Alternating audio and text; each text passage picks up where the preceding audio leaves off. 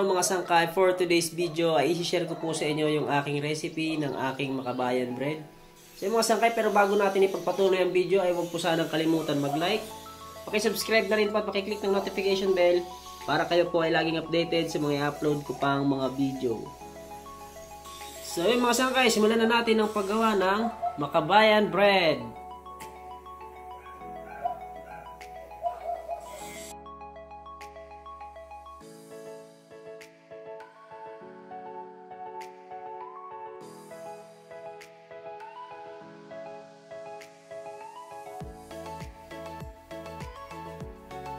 So ngayon mga sangkay, simulan na natin ang paggawa ng makabayan bread.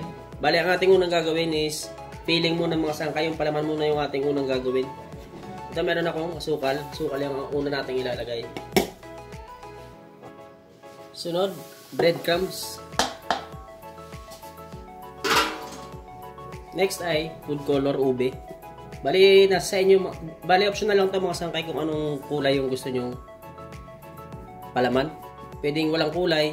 Pwedeng, ito maglalagay lang ako ng ube kasi gusto ko yung ube. Maiba naman. At maglalagay ako ng dalawang takip na flavor. Para maglasa rin siyang ube. Next ay tubig.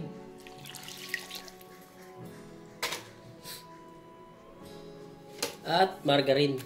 So pag nilagay na natin yung mga sangkais, haluin muna natin.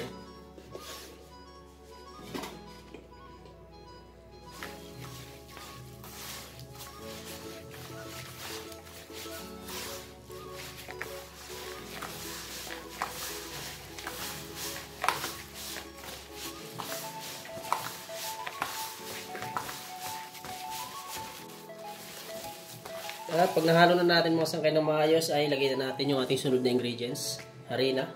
Ayan. At may baking yan sa ibabaw mga sangkay. So ihalo na natin to.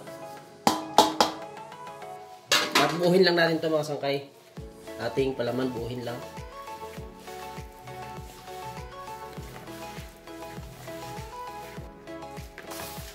At kapag nabuo na natin mga sangkay, ay itabi, itabi muna natin itong ating palaman. Dahil gagawa tayo ng ating pabalat.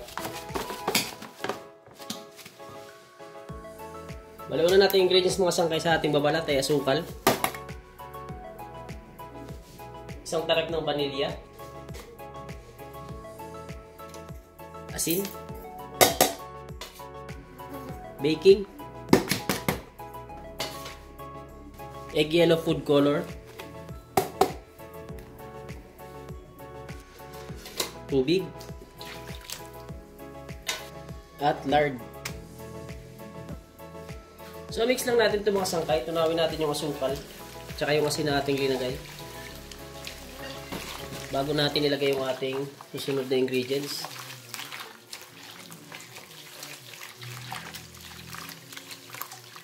At ang sunod natin gagawin mga sangkay is lagay na natin yung ating harina. At may yeast yan sa ibabaw mga sangkay. Lagay na natin dito sa ating tubig. Bali, bubuuhin lang natin to.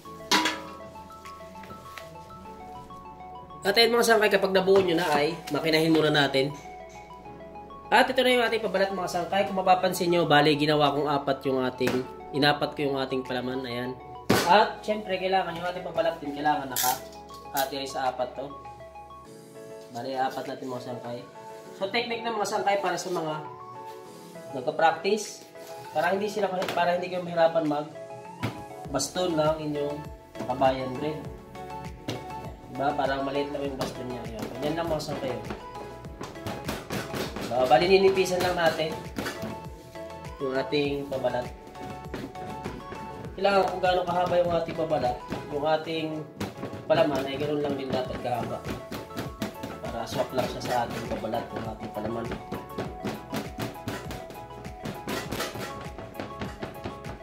Ganyan lang mga sangkay. Ngayon ilalagay na natin itong ating palaman. Dito lang mga sangkay ha. At pahiran muna natin ng tubig mga sangkay bago natin ilagay yung ating filling.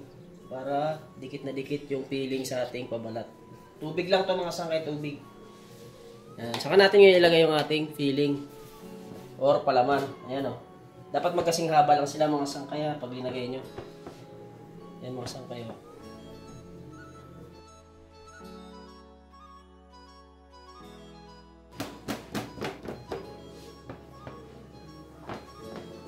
Ganyan lang kasimple mga sangkay pagbalot ng ating palaman. Close rin yung gilid para hindi lumabas.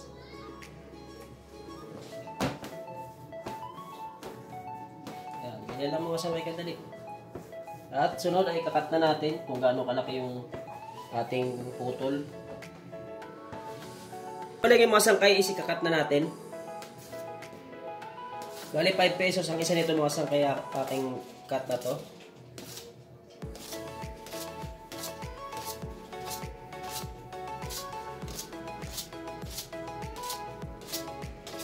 Nagkat nyo ng mga sakay, diretso nyo na sa plancha.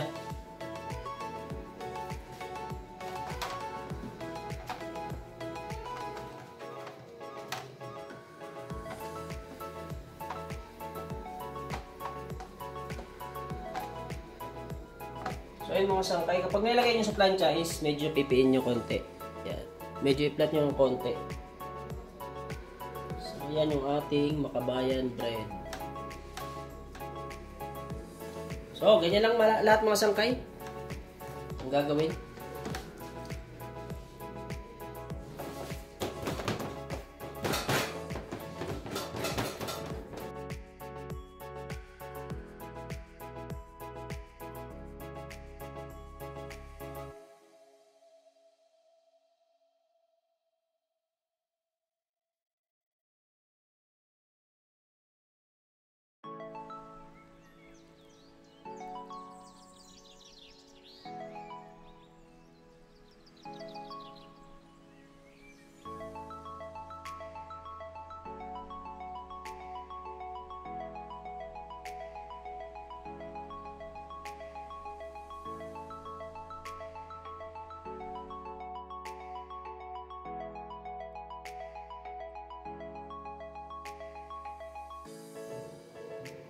Ito na mga sangkay ganito gawin nyo.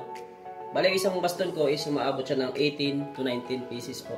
Yung apat na in- inano natin hati-hati na palaman. Bali, yung umaabot mo siya ng 18 to 19 pieces. Yan, may guide na siya mga sangkay para diretso hiwa ka na lang. Lalagyan mo lang ng guide para hindi ka mahirapan. Ang tansya. At ayan ang mga sangkay, bali nakagawa tayo ng 73 piraso. Ngayon is papahiran ko lang ng itlog sa ibabaw. Yung mga sangkay lalagyan ko lang ng kahit sa ibabaw mga sangkay bago natin siya isalang.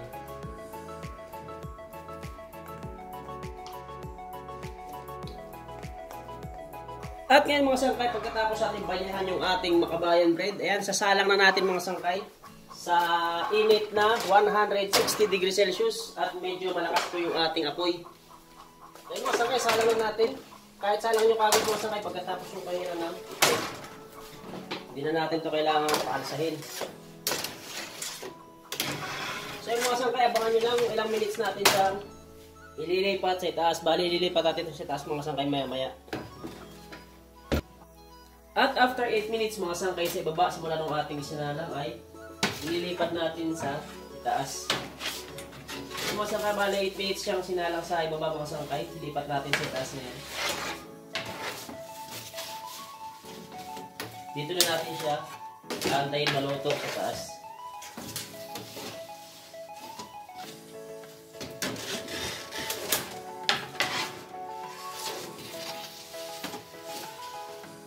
So, antayin na lang natin maluto dito mga sangkay sa taas. Kung ilang minutes natin siyang luluto, lulutuin sa taas. After, after 10 minutes mga sangkay, babalikan na natin yung ating salang. So, mga sangkay, bali alisin na natin yung salang natin sa oven. Balisin na lang natin siya sa taas ng 10 minutes. Sa baba ay 8 minutes, bali naluto siya ng sa loob ng 18 minutes mga sangkay simula ng ating isinalang. So kayo mga sangkay, luto na yung ating makabayan bread. Bali, palalamigin muna natin to bago natin display. So, ito na yung ating makabayan bread. Ayan mga sangkay.